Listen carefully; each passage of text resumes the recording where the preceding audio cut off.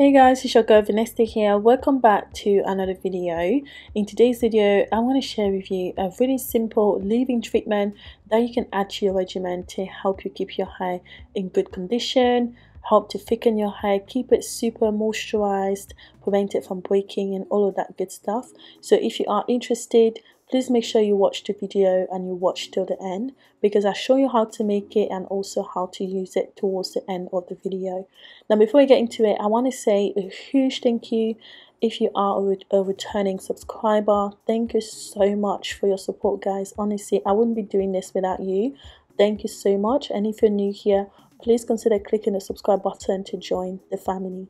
So to begin with, we are going to use some flax seeds. So I'm using the brown, sorry, the golden flax seeds, but you can use a brown one as well or any other one that you have available. So I'll be using about four to five tablespoons of flax seeds. Next, I'm going in with some fenugreek seeds. Now, flax seeds are quite high in protein, which essentially is really good for your hair guys it helps to thicken the hair and also helps to prevent your hair from breaking fenugreek seeds quite great for your scalp um, it helps to stimulate hair growth. It helps to prevent scalp inflammation and itchiness and also helps to keep the hair super nice and moisturized. So it's such a great ingredient to have in your leave-in conditioner. So I added about I think it was three to four tablespoons of fenugreek seeds and then I'm transferring the whole thing into um, a little pan. And I'm going to go ahead and boil um, the whole thing together you want to make sure that you're there and you're checking regularly because if you don't guys it is going to boil and boil over essentially so you want to make sure that you're constantly there and you're checking it now you know this is ready when the liquid starts to thicken and also becomes a bit slimy. So that's how you know that it's absolutely ready. So you can go ahead, take it off the stove and then we're going to go ahead and strain it while it's still hot. Now it just makes the process a bit easy. If you want, you can allow it to cool down, but if the thing is, it will turn into a gel which can make it a bit more difficult to strain um, later on. So I always prefer to do it while it's hot and it's still like in its liquid form and then it will sit around and turn into a gel once it cools down.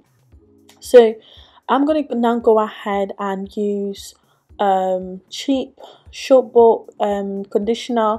This particular one, I've been using it for a little while and I think I actually like it.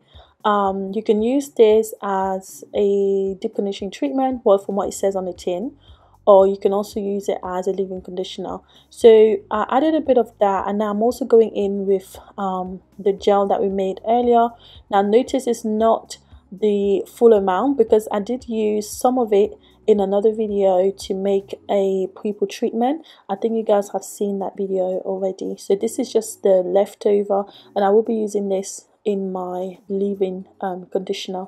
So I added the gel to to the um, the short bought conditioner and then I'm just going in here with some essential oil. So I'm using rosemary essential oil tea tree essential oil peppermint essential oil and these are great for your hair guys and also for your scalp. Essential oils help to increase the blood flow to the scalp area which can essentially um, help to promote hair growth. But apart from that the tea tree essential oil also has antibacterial properties, which is really great because it just helps to keep the bacteria away from your scalp. So after I added those essential oils, I also added a bit of vitamin E oil and then I just closed the jar and I'm mixing until everything is kind of combined and this is what I'm left with. So that's your conditioner guys. So it was a little bit thick for what I wanted it. So I added I added just a little bit of water just to um lighten up the consistency a bit but obviously if you are you're happy with the thickness you don't have to add the water. So again I'm closing the jar and just you know shaking it so that it can mix better. And then this is what I ended up with. So much lighter and I absolutely love this because it means I don't have to spray my hair with water. Before using this I can apply it directly to dry hair and your hair instantly will feel super nice and moisturize. so you can close the jar and this can store in the house guys for a really long time. I think i made this um, and then i kept it in the house for about three to four weeks before using it and it was still great. Like you know it didn't change any color or anything like that. So it was still really really good to use. So I think you can store and use over a long period of time as well so now I'm going to show you guys how I'm using it on my hair. So at this point my hair has been washed. It has been deep conditioned um, but it's kind of dry again. So I'm just going to go ahead and um, reapply moisture to my hair and also to and also like style my hair to be honest it, i don't even think it's that dry um but you know when you deep condition your hair and you just allow it to dry right? So that's the kind of state that my hair is in right now. So i'm gonna go ahead and apply this to um, remoisturize my hair to enable me to detangle and then I'll go ahead and style my hair as well. So what I usually do especially now and at this time of the year when it's just really cold I tend to put my hair in braids um, just because you know it's easier to protect my hair that way. Um, but also because I do go to the gym on a regular basis I feel like there's no other style really that works better for me um, when it comes to like you know my gym lifestyle. Um, so I prefer to have my hair in in braids because I feel like you know that's the best way that I can keep my hair. And I can also wear wigs whenever I want to um, perhaps you know change my look so you know my style a bit. So I'm working on smaller sections as you guys know and I'm just applying the conditioner to the section. Notice I didn't apply any water or anything. Um, that's why I wanted to make it a little bit lighter so that you know I wouldn't have to spray my hair with water beforehand. And when you apply this to the hair guys it immediately feels really nice and soft and really easy to work with I also went in with an oil again that I made and I shared with you guys already in another video. So I just used that oil to um, seal the moisture in my hair. And now I'm using this Tangle Teezer brush and I'm just going ahead and combing my hair just making sure it's properly detangled.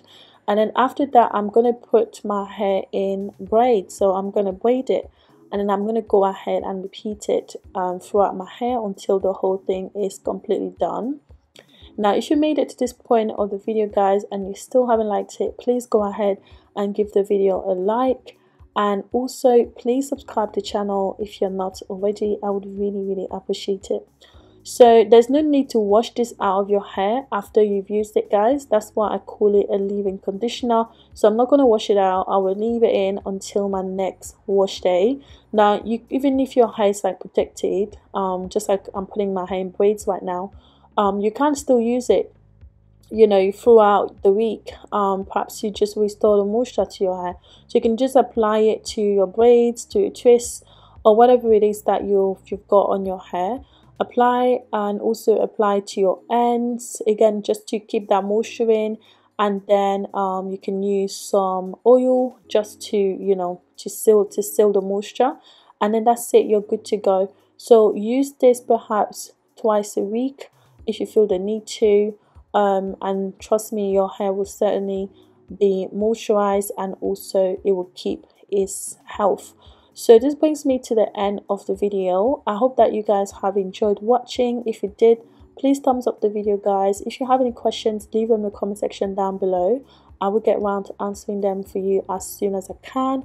Also guys please subscribe to the channel if you're not already. I would really appreciate it and i will catch you guys in my next video. Bye now